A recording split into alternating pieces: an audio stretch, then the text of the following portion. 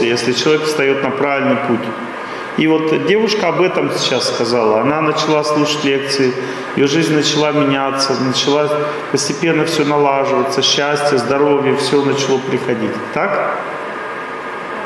Да. Следующая тема у нас для обсуждения – это мы будем рассказывать, говорить, как действуют обязанности человека на, на жизнь, на отношения. Что для чего нужно. Мы вчера говорили о том, что самая главная и первая обязанность – это уважение. Если вы неправильно относитесь к мужчине, смотрите на него, разговариваете с ним неправильно. Если вы неправильно относитесь к женщине, смотрите на нее, разговариваете, то все остальные обязанности не ценятся. Вот представьте себе такую картину. Вот мужчина работал всю жизнь на жену, помогал ей, заботился о ней, верно себя вел, не гулял вообще. Но он только не говорил жене добрые слова, ласково себя не вел с ней. И теперь другой мужчина, который никогда не заботился, никогда не помогал, никогда ей не был верным, не подарил ей детей, ничего не сделал для нее, а просто с ней начал разговаривать очень ласково и нежно. Как вы думаете, кого женщина это выберет? Первого, который вот ей всю жизнь отдал, или второго, который просто ласково и нежно с ней разговаривает?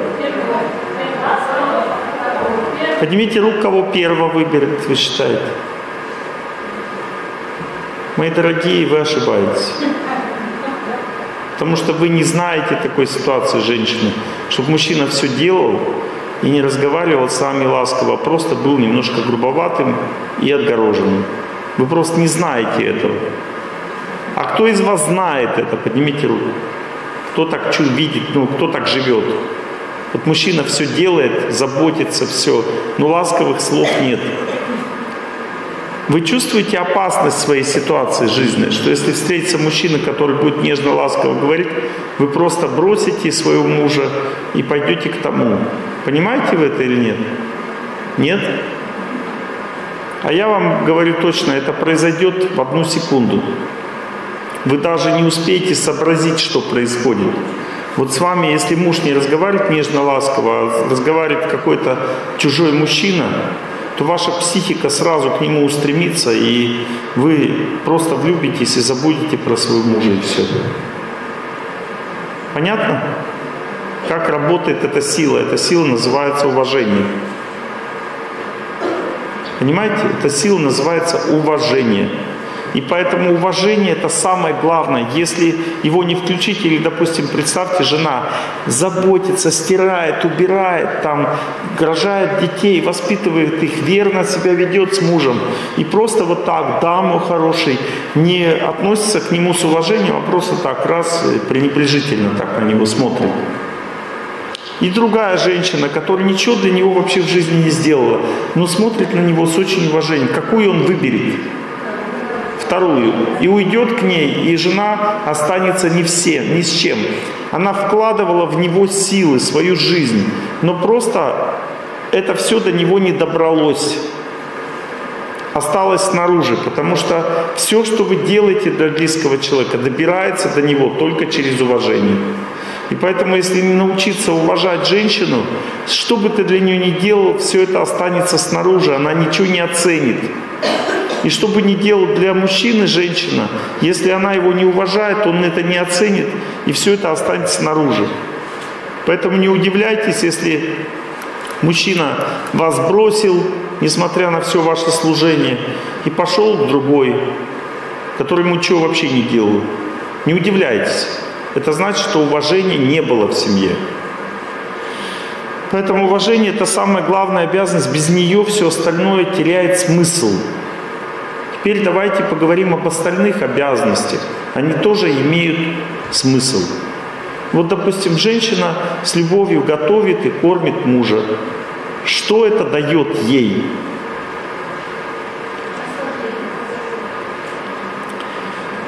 мы говорим сейчас не о просто там чувствах, каких-то эмоциях, а говорим о практичных каких-то вещах, которые влияют на целую жизнь.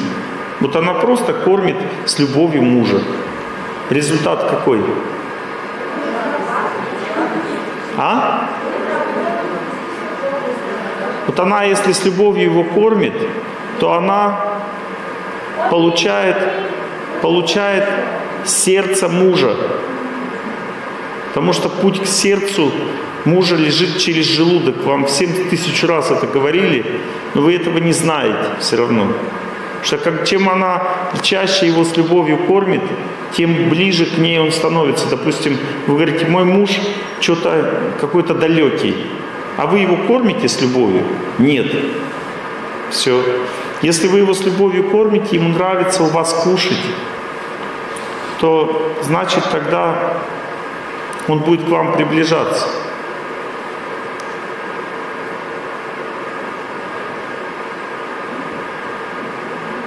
Как-то один раз жена подошла ко мне так и сказала, спасибо, что ты у меня есть. Знаете, как я ей ответил? Я ей сказал, спасибо, что я у тебя ем.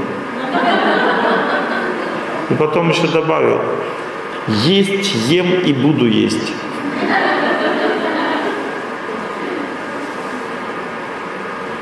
Смешно? Но это правда.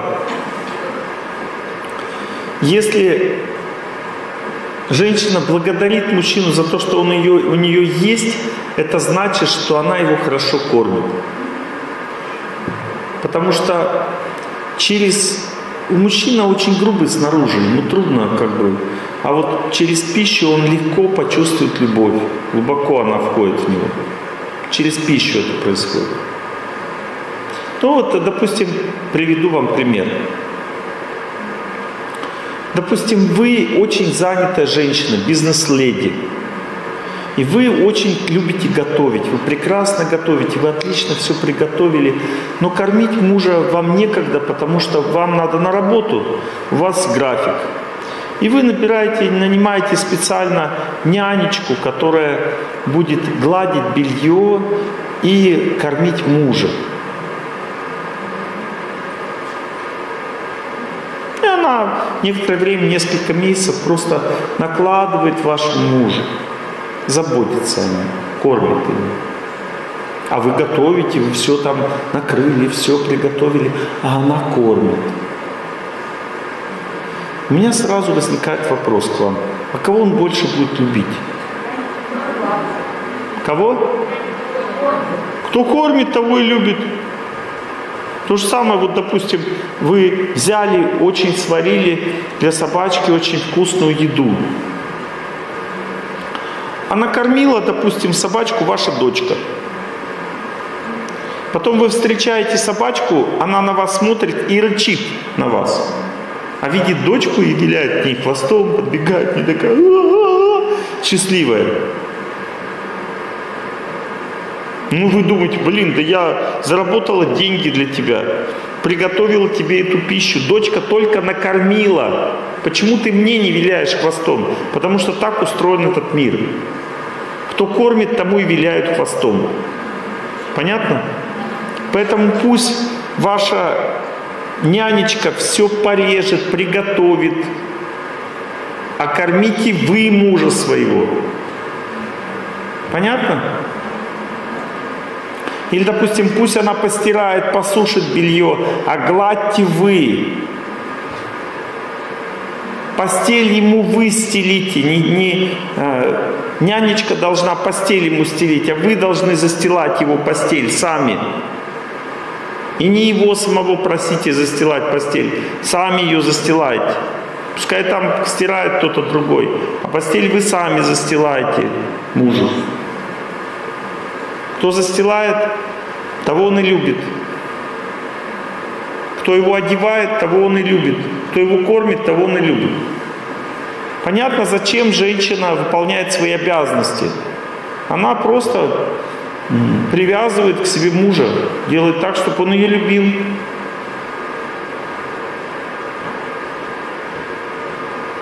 какие у женщины есть преимущества в семейной жизни.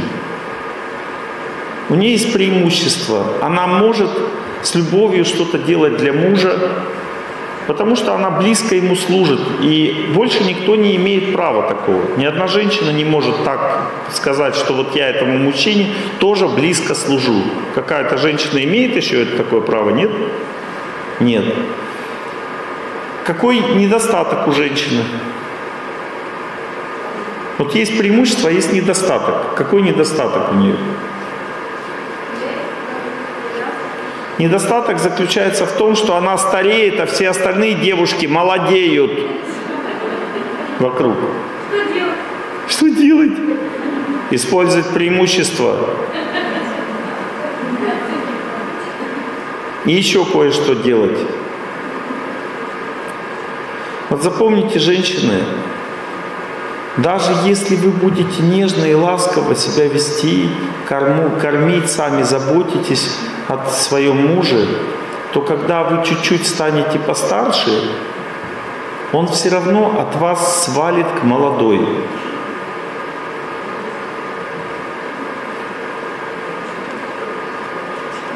Блин, нафиг ты приехал, Олег Геннадьевич, вообще? Без тебя лучше жили вообще. Что теперь вообще, как жить дальше? Нет, нет, нет. Не нет, а да. А? Все, кивайте, вот так сидите. А я вам дальше буду рассказывать. Вы же не ушли. Вот, теперь чем я отличаюсь от вашего дурака?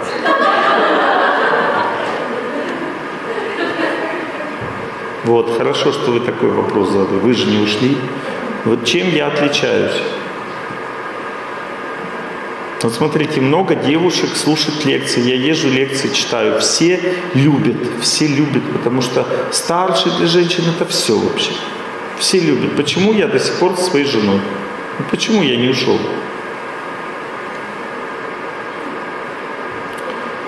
Потому что у меня дома есть алтарь. И жена служит Богу дома, а я на это смотрю. И когда я смотрю на других девушек красивых, я вспоминаю свою целомудренную жену, чистую, светлую, и думаю, все равно это лучше. Потому что когда жена служит Богу, она включает у мужчины в сердце совесть. И он начинает смотреть на нее чистоту и вдохновляться ее чистотой. Потому что когда женщина служит в доме Богу, ее бросить невозможно, потому что в доме живет совесть постоянно. А когда мужчина смотрит на молодых девушек, то его совесть не пускает к ним.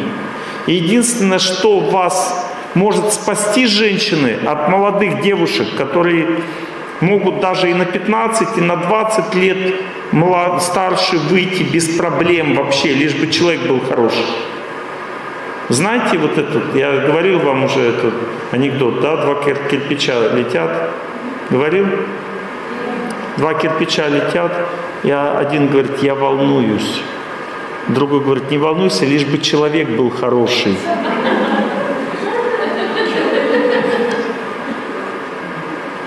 Понятно? Им пофиг, лишь бы человек был хороший, понимаете? Им все равно, на сколько лет младше, старше. Если человек хороший, порвут просто и вышвырнут, вытащат из семьи, оставят вас с вашими детьми, со всеми родственниками одну. Потому что очень хороший человек. И вот вы своего очень хорошего человека сможете защитить только Богом. Поэтому все женщины, которые не служат Богу в своей семье, не поклоняются Ему, не молятся, никогда не смогут сохранить свою семью. Понятно? Сейчас я вам включу одну мелодию. Эта песня написана пять тысяч лет назад. Она состоит из прославления Бога так очень искренне, чисто служит Богу, молится, освещает пищу, в чистоте живет такой душевной. И когда ее вспоминаю, то чистая память о ней, чистая память, которая не дает бросать никого никогда. Поэтому единственное, что может вас, женщины, защитить, это ваша молитва. И если вы хотите, чтобы ваш ребенок тоже всегда вас любил, тоже читайте молитвы при нем. Я вчера вам включал песню, как «Ты молитвы мне читала». Включал? Вот это ребенок тоже вспоминает про маму, потому что она чистоту свою показала ему, свое желание молиться. Поэтому Бог женщинам дал врожденную склонность к Богу, к себе. Вот мужчина, он так не чувствует Бога, как женщина. И зачем Бог, Бог женщине дал возможность себя чувствовать? Зачем? Чтобы она смогла сохранить свою семью, чтобы ее муж не пошел под откос по бабам, когда он начинает гулять, он дальше идет в ад потом. Чтобы муж под откос не пошел, чтобы дети потом не, не стали несчастными на всю жизнь, что у них домик разрушенный. Когда люди семью создают, они для кого домик делают? Гнездышко для кого вьют птицы? Для себя? А для кого? Да, птенчиков они вьют. Также и вы свое гнездышко тоже для птенчиков вьете. А потом вы его раз, раз, разрушаете, говорите, я не смогла с ним жить. Причем тут вы? Вы для птенчиков все свили, вот и живите для птенчиков, а не для себя. Вот, поэтому только когда Бог есть в семье, Он знание дает об этих вещах. Для чего семья создана? Для детей. Как вместе жить, как сделать так, чтобы муж не ушел. Нужно показывать мужу свою чистоту служением Богу. Когда женщина служит Богу, то ее чистое, светлое все выходит наружу, и его любовь возрождается к ней. Потому что я вчера говорил, что любовь – это энергия свя- связь духовного в женщине, божественного в женщине с божественным в мужчине. Понимаете, а божественное в мужчине никогда не возникнет без божественного в женщине. Мужчина сам не пойдет к Богу в семье, если жена его не потащит за уши. Поймите, что эта женщина возрождает чистоту в семье. И если вы не будете алтарю молиться, если вы не будете освещать пищу, кормить мужа освященной пищей, если не будете, если не будете мыть квартиру не для себя, а для Бога надо мыть, чтобы Он радовался. Если есть алтарь, значит Бог там хозяин. Если в вашей квартире Бог будет хозяин, а не вы, и вы все для Него будете делать, то Бог не даст вас бросить. Понятно?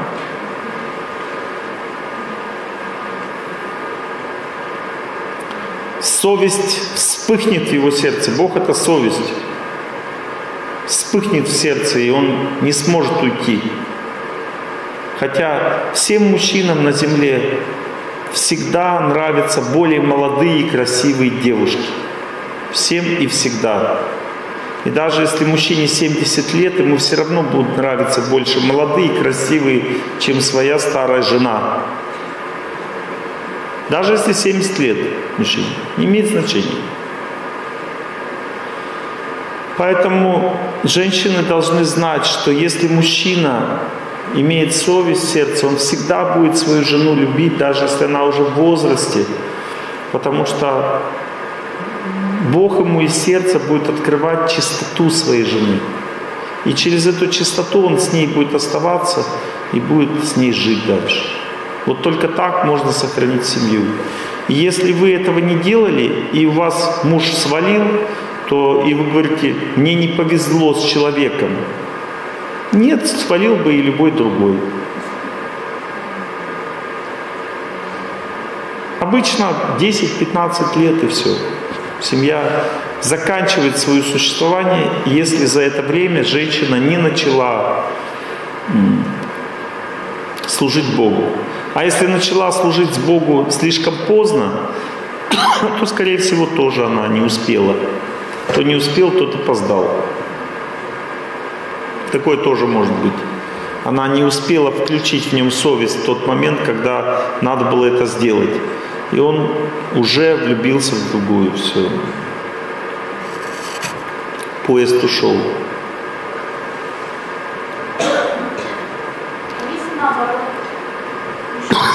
А?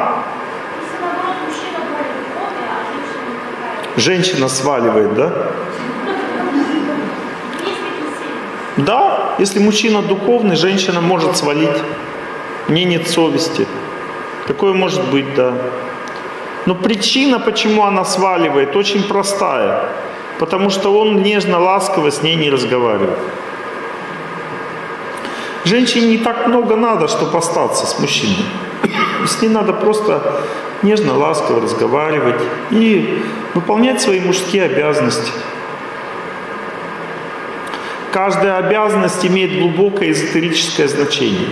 Вот когда женщина гладит, допустим, одежду мужчине, что она делает? Что? Она защищает его жизнь.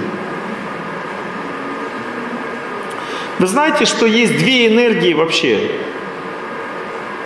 Есть тайная энергия, есть явная. Кто обладатель тайной энергии? Женщины. Они сами даже не знают, что они имеют. Тайная энергия. Тайна. Почему ковбой Джо неуловимый? Тайна есть. Знаете почему? Потому что он никому не нужен. Потому он неуловимый. Если был кому-то нужен, был бы уловимый.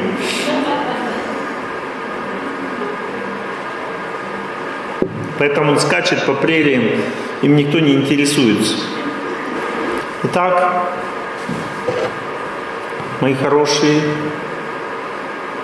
женщина обладает энергией, влияющей на всех.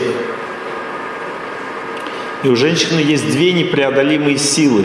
Одна сила благословляющая, другая проклинающая. Непреодолимые силы. Только Бог выше этих сил. Поэтому с женщинами связываться очень опасно. Если, допустим, мужчина жену бросил, она что-то может ему сделать там. Он говорит, я себе забираю все квартиры, машины, все как бы. Она может что-то сделать, нет?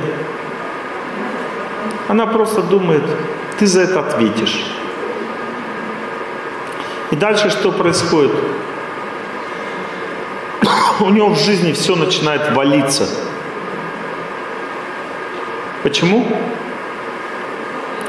Потому что с точки зрения высших сил, женской энергии, мужская абсолютно равны по силе. Вот внешне кажется, мужчина все делает, он все есть, он такой богатый, влиятельный. А женщина такая вообще как бы ничего нет, ни, ни богатая, ни влиятельная.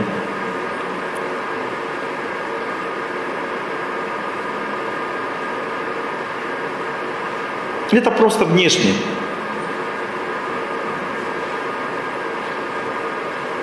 Женщины нет внешних сил, а ей тяжело работать там, тяжело зарабатывать, добиваться чего-то своего, да? Но Бог ей дал такую силу изнутри, которая действует просто по ее желанию. Вот девушке, допустим, чтобы выйти замуж, ей надо что, бегать за мужиками, там, добиваться или что ей надо делать? Ей надо просто иметь чистоту, быть чистой. И она своей чистотой просто посмотрела, ты будешь моим мужем. И он такой, пошел такой. Так или нет происходит? Вот бывают такие женщины, которые вот на любого мужчину покажут, ну не женатого, ты будешь моим мужем, и он станет ее мужем. Бывают такие женщины? Знаете об этом или нет? Они живут на высших планетах. От них исходит аромат, на несколько километров. Если какое-нибудь живое существо мужского пола в этом пространстве оказывается, то оно падает в обморок от любви сразу. То есть ей вот так вот просто посмотреть, и он падает в обморок сразу. Такая сила у этих женщин божественных, которые живут на небесах. Ну, то есть, э, чем больше сила у женщины, тем сильнее влияние у нее на мужчину. И когда она гладит его белье, она защищает его жизнь. Потому что его жизнь принадлежит ей, ее детям. И Бог наделил ее такой силой женщины, что она просто гладит белье, если она еще с молитвой это делает, то он пока в этой одежде ходит, никто ему ничего не сделает. Понимаете? Защиту она дает. Когда она его кормит, то она наполняет его здоровьем и любовью, своей силой. Он не может от нее отвязаться, он будет всегда ну, с ней связан в жизни. А если она фастфудом его кормит, как бы, не своей пищей, не сама готовит, не своей рукой, а фастфудом, ну тогда, значит, он будет привязан к фастфуду. Когда ему он плохо будет, он не к вам пойдет, а пойдет в Макдональдс. Чем кормили, туда и пошел. Вот, поэтому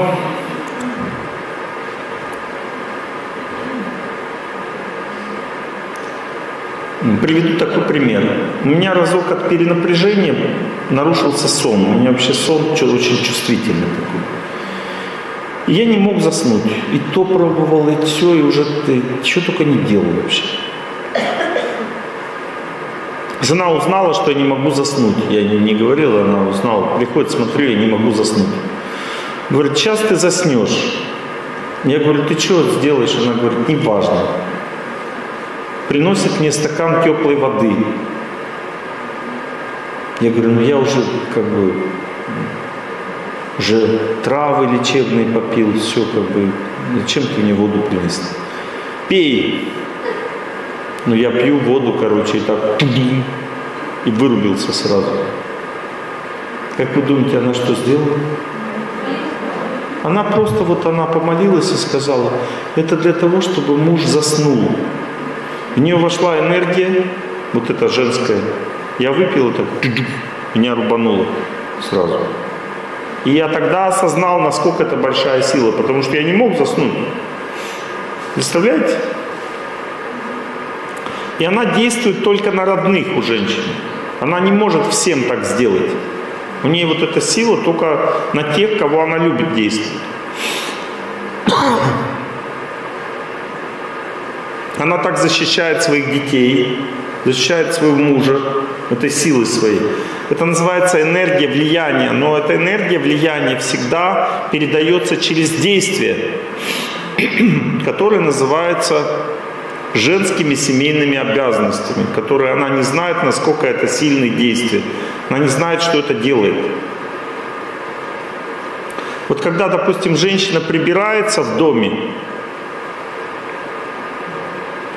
она очищает мысли всех, кто там живет от грехов.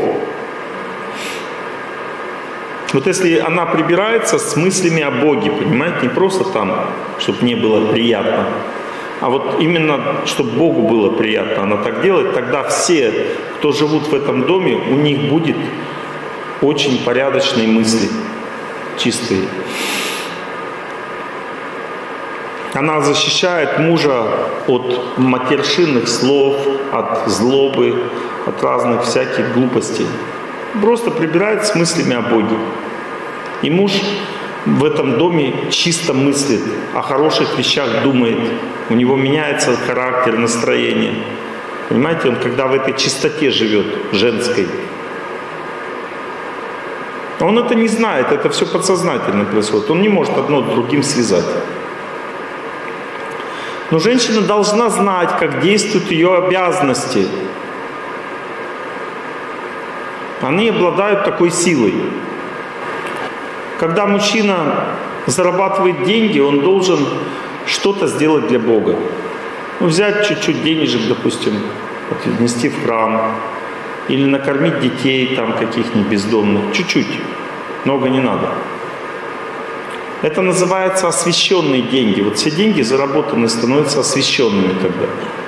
Эти освященные деньги приносят удачу семье. Вот он приносит домой эти деньги, отдает, и они все принесут удачу. Все, что с ними будет связано, все принесет доброту в семью.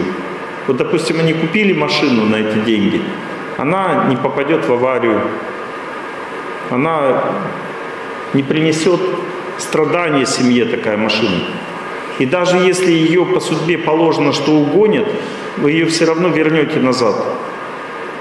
Даже если эта собственность будет отнята кем-то, она все равно вернется к вам, потому что эта собственность освящена. Она связана с Богом, и поэтому она имеет особую защиту. Понятно?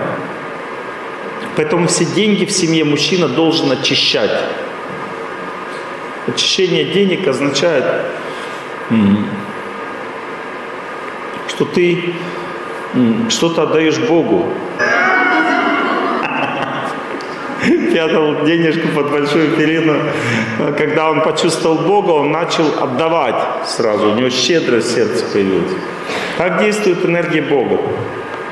И когда ты Богу отдаешь, для Бога что-то делаешь, что деньги твои, которые ты заработал, а тебе нужны же деньги, без денег же ни кушать нельзя, ни жить, да, не кормить своих детей. Ну, то есть без денег никто не сможет жить в этом мире.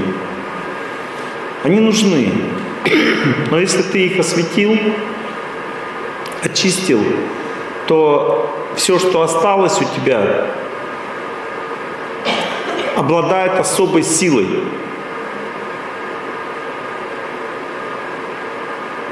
Есть такая история про чистоту денег. Это ведическая история, древняя. Одна проститутка, ну, как бы, начала молиться, она очистилась и поняла, что она зарабатывала очень плохо. И ей эти деньги не нужны были, не хотела на них жить. У нее были много денег. Она принесла их в храм, и говорит священнику, накормите на эти деньги ну, монахов. Он такой посмотрел на деньги, а он был ясновидящий, посмотрел на деньги и говорит, ты как их заработал? Она говорит, я заработала проституцией.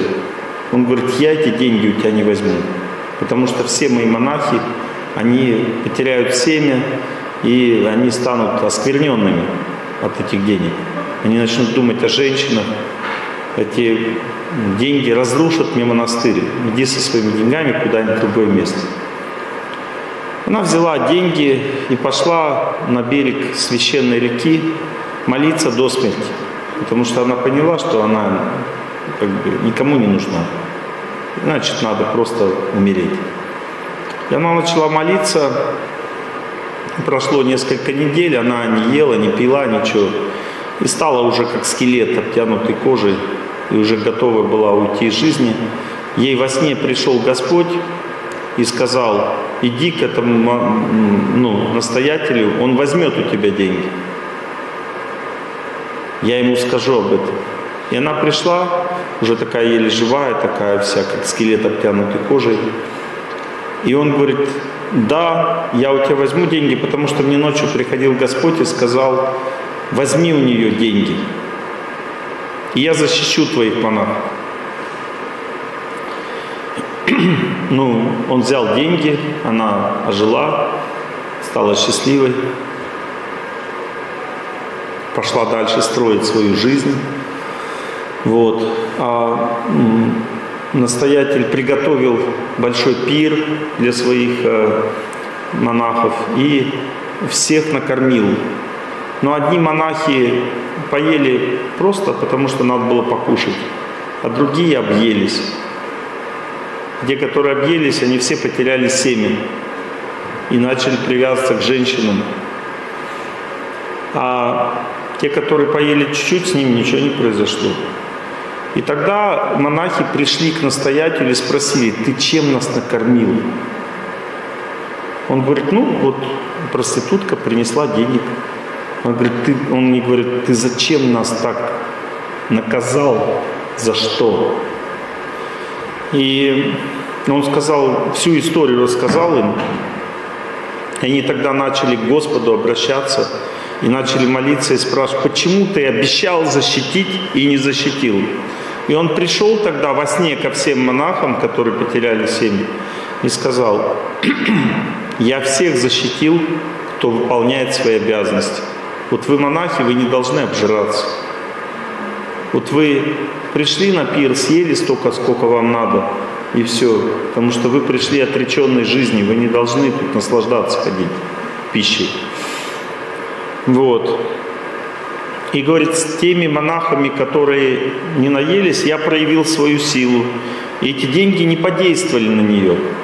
А с теми, на них, а с теми, кто не выполнял свои обязанности, я их наказал тем, что эти деньги подействовали на них. То есть эта история показывает, что деньги имеют силу. Вот деньги все внешне одинаковые. Но каждые деньги, они все имеют разную силу. И сила денег очищается с помощью бескорыстия, с помощью служения Богу. Если человек час денег использует для того, чтобы сделать что-то доброе с каждой зарплаты, то он таким образом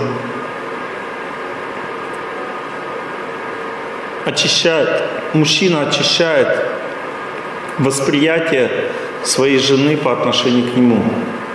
Потому что деньги, которые мужчина зарабатывает, являются силой, от которых женщина зависит.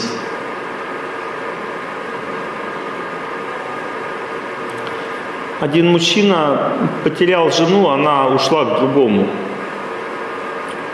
Но он всю жизнь всегда заботился о ней, ей очень хорошо зарабатывал, ей помогал, но он нежно с ней не разговаривал, и она просто чувствовала себя нелюбимой и ушла к другому.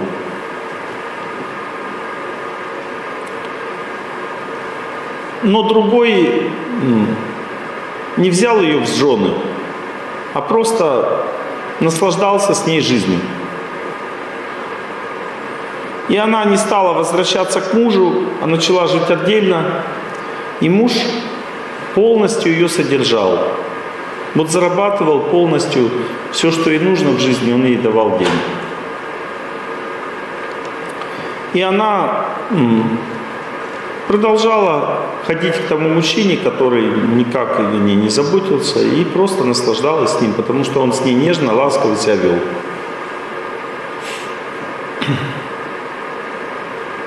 Мужчина пришел ко мне и говорит, я хочу вернуть жену. Что мне надо делать? Я говорю, перестань ей давать деньги.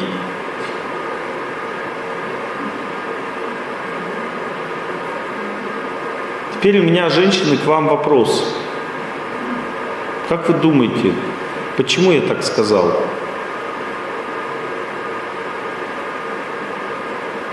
Что за сила находится в деньгах мужчины и как она действует? А? Эта сила ее, она зависит от этой силы, понимаете? Женщина входит в зависимость. Она привязывается, она становится подчиненной этой силе. И как, э, что произошло? Он взял просто и перестал ей давать деньги. Когда он перестал ей давать деньги, а тот не начал давать деньги, в результате она куда пошла? Назад домой. Так и все получилось. А вы бы как сделали женщину? Вот ваш муж содержал вас все время, ну или ласково не разговаривал, вы влюбились в другого, начали к нему ходить гулять. Но он вас не кормил, не содержал, просто наслаждался вашим телом. А муж вас кормил и потом раз перестал вам давать деньги. И вы когда его спросили, а что ты меня не даешь денег? И он сказал, Возвращайся домой, будут деньги. И что она дальше сделала?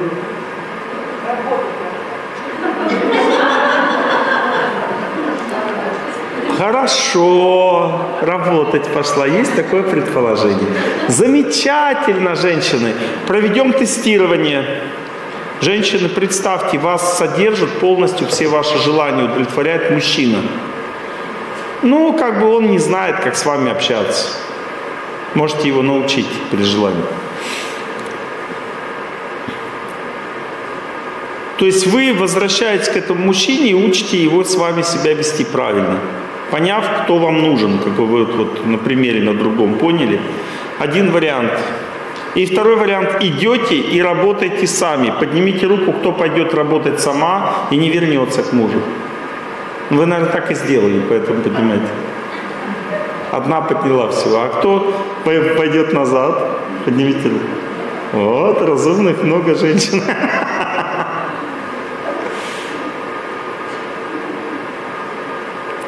Представляете, какая глупость пойти работать, если есть мужик, который тебя содержит? А? Что? Доказать что? Нет, слышу все равно. А, доказать пошла. Ну пусть докажет, попашет, поймет, что за жизнь. Муж ждет, готов э, все простить. Но больше денег давать не будет. Потому что Олег Геннадьевич запретил. Как бы он и давал, потому что он любит жену. А? Не понял. А все женщины дуры.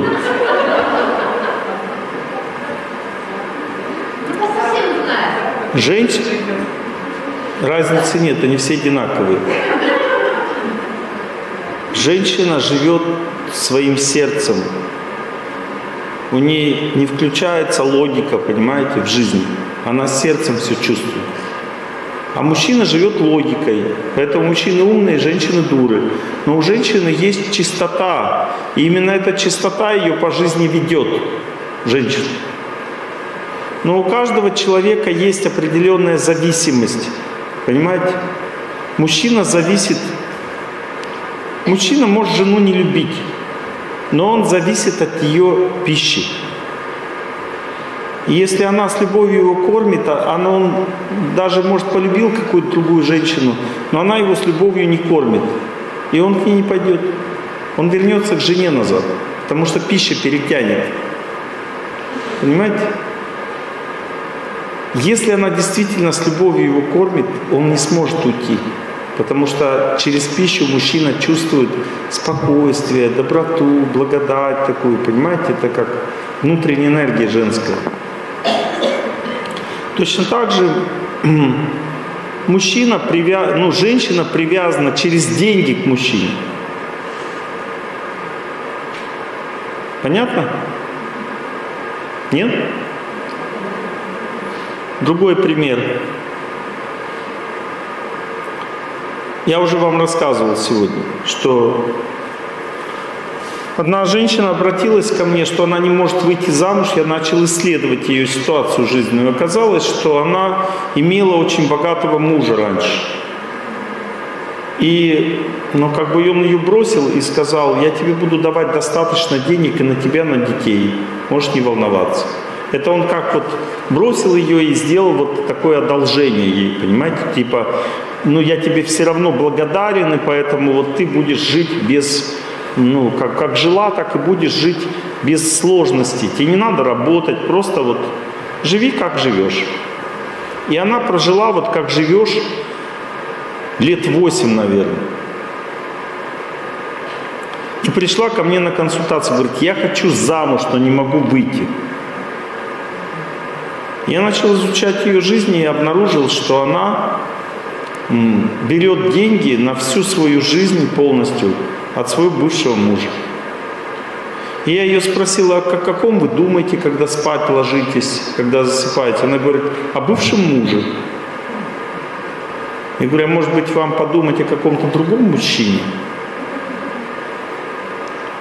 Она говорит, я что-то не могу. Знаете почему, женщина? Потому что деньги женщину ставят в полную зависимость от мужчины. И она от этой зависимости своими силами отвязаться не сможет. Алименты это не то. Это, это деньги другого плана. Это значит, над мужчиной совершили насилие, и он эти деньги отдал для детей, а не для нее. А если он прямо ей дает вот деньги, говорит, возьми, пожалуйста, это тебе, то она вместе с этими деньгами берет и отдает ему свою зависимость. Понятно? Мужчина зависит от заботы жены, а женщина зависит от денег мужа. Понятно, как это работает система? Или нет? Нет?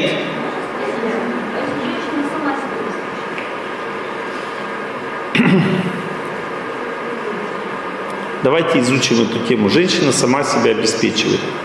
Вот э, это какие деньги? Ну, допустим, женщина работает.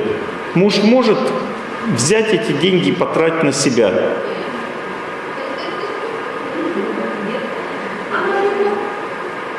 Вот смотрите, женщина заработала деньги. Это такие же деньги по энергетике, как мужчина заработал или нет? Вот эти деньги, которые женщина заработала, называются горячими деньгами. А мужские деньги холодные. Сейчас объясню.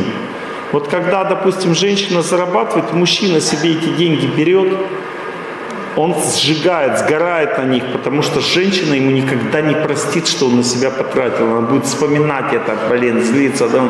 Никогда в жизни не простит. Десять лет пройдет, она будет вспоминать, он гад на мои деньги сжил. Женские деньги – это очень опасные, горячие деньги, они имеют горячую природу.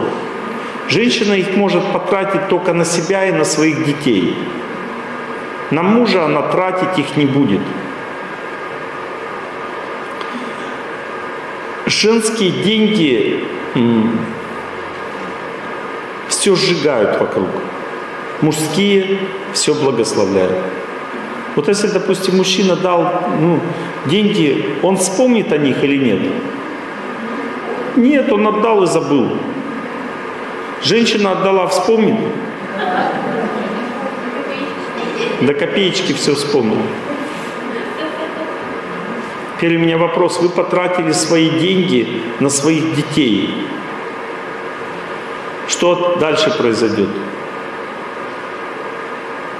Вы уменьшаете любовь к своим детям, увеличиваете зависимость от них. Теперь вы потратили свои деньги на себя. Что дальше произойдет? Вот все, что вы себе купили, все эти вещи ваши, они будут портить вам характер. А? Я сама, да, я сама, я перестала быть зависимой. Вот если женщина, я сама, вот она одета в я сама, она квартиру я сама купила, она машину я сама купила. Она замуж выйдет. Потому что мужчина на нее смотрит, и у нее отталкивается взгляд, потому что женщина замуж может, может выйти только когда она впала в зависимое состояние. Она чувствует, что я сама не могу, мне нужен муж. И тогда она становится красивой, послушной, нежной, и от нее идет такая сила, которая привлекает мужчину. Теперь она сама заработала. И что дальше? Она замуж выйдет? Выйдет. За какого мужика? Который ни хрена ничего не зарабатывает. Потому что он посмотрит на нее как на кошелек, а не на как женщину. Потому что женщина означает зависимое существо. А если она независимая, значит тогда на нее будут смотреть зависимые мужчины. Все. Чем больше она сама на себя зарабатывает, если она не замужем, тем хуже мужик ей достанется. Но, конечно, в современном мире женщина не может жить без денег, так же, как раньше женщина жила у родителей, потом ее выдавали замуж. Если она развелась, семья, она опять к родителям ушла. То есть или туда, или сюда, она одна не живет. Сейчас все поменялось. Но если женщина работает ровно столько, сколько нужно, чтобы просто жить, то эти деньги не являются злыми. Или, допустим, в семье не хватает денег. И женщина тоже работает, чтобы восполнить бюджет семьи. Эти деньги не являются злыми. Злыми становятся те деньги, которые женщина зарабатывает для себя. Эти деньги приносят ей страдания потом в жизни. Потому что они отделяют ее от семьи. И все, что она накопила и купила, все это становится опасным, опасной собственностью, которая в любой момент может ее заставить сделать глупый шаг. Ну, например, женщина психика какая по природе? М? Какая? Неустойчивая. И она склонна к разным глупым поступкам. Представьте, у нее своя квартира. И у нее нормальная зарплата. Муж начал там дурить. Что она делает? Валит и к обеду не жди, твой песик. И все. И до свидания. И что она кому хуже сделает? Ему или себе? Он себе через два месяца найдет другую. Она себе найдет через два месяца другого, нет? Нет.